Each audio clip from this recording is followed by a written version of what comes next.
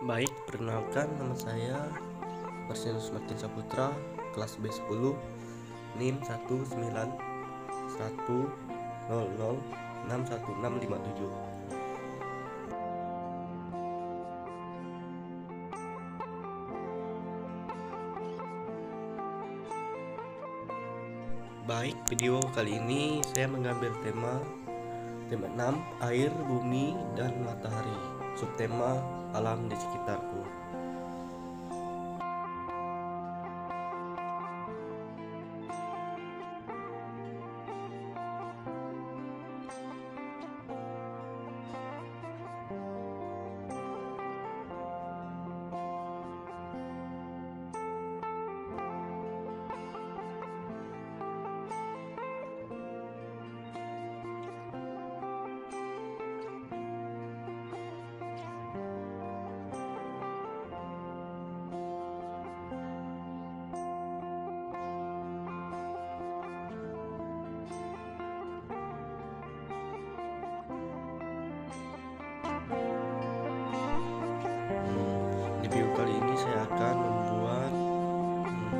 Menceritakan hmm, sejarah atau kisah yang ada di desa Ranyai, dusun Ranyai Hilir.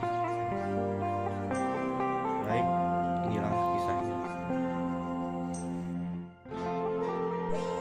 Setiap daerah memiliki kisah atau sejarah masing-masing. Nah, di sini saya akan mengangkat atau saya akan mengambil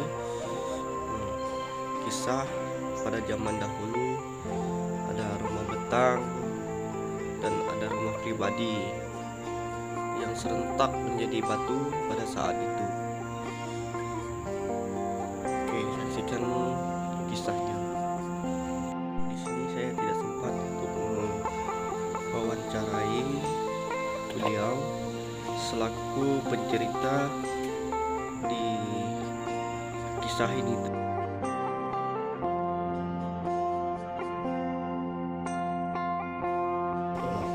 Jadi pasal cerita ya rumah Ranyai, rumah betang.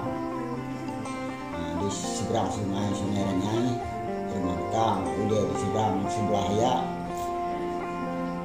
rumah anu rumah bikin sebekalan kau lah.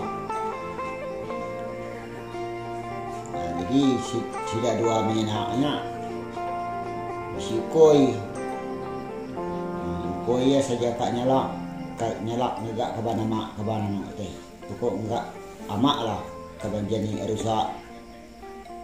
Nah baru koi sudah dua setiap hari boleh. Nah kalau di baik ro berburu boleh. Baik buru boleh.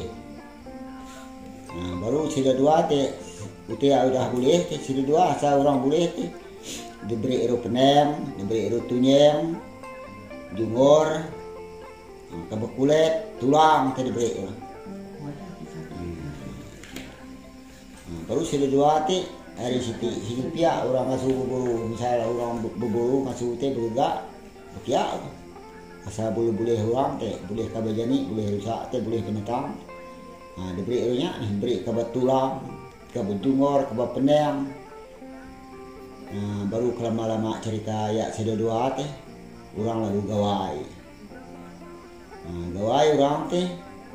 Lalu kan malu. Malu di rupiah teh. Lalu mayau di kalong. Di kalong mayau di kalong mayau teh pas orang gawai teh. Mayau lalu bakaru menari di tengah rumah.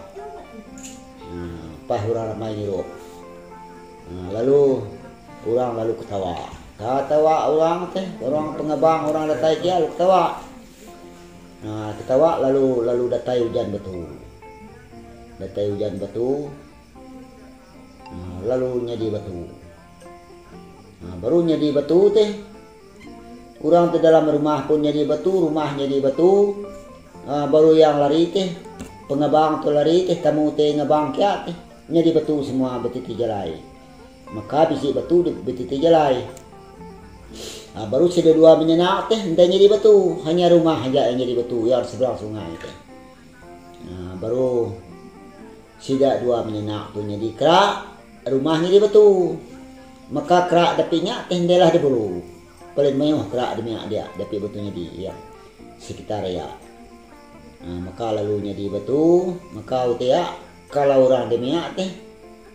Ukoi mayau tu entar pilah pastinya di batu kalau kita ketawa nah, jadi selama lama utenya tehnya di batu teh selama lamanya nih sekitar dua bulan lagi mana hidup dalamnya dalam batu teh batu ya berlubang. Nah, berlubang teh dekat debor orang orang Belanda musim Belanda nak salahku nah kat debor adalah debor udah debor alit udah debor alit. Nah lama nih hidup dia. Tapi lama-lama lu jadi batu. Tapi ento batunya ni nyonya dia no dia nama namanya nyo beka beka hutan lah itu. Ini dah tumbuh ke bekayu kalau demiak saja utuh batu dia dapatnya rumah penyali yang di seberangnya di seberang sungai rumah sudah tua menyenak tetap mana batu ya. Nah yang lari pengebang tuh tetap mana batu. Cuma rumah penyai ya udah habis kayu. Nah pihak cerita. Nah maka orang yang pengebang tetap mana utuhnya di batu rumah penyai lalu bisi tanah lalu hidup kayu dia maka lalu dia si dia nampak anu lagi bah. Yang di seberang tuh tadi sudah dua menyenang eh rumahnya tetap di batu. Rumah dua menyenang nah pihak cerita ya tadi maka upoi maya itu lah kalau radenya tetap hujan batu. Nah, jadi utenya cerita ya batunya ndai jauh dari rumah tuh bah. Jadinya nih bisa ya kira ikahnya aja lah. Ya dia tebak Nah, jadi begitu saja kisahnya teman-teman Nah, para maklum tidak terlalu menguasai bahasa Indonesia orang tersebut. Nah, orang tersebut adalah kakek saya. Di dusun Ranyai Hmm, sekaligus ketua adat di Ranyai Hilir teman-teman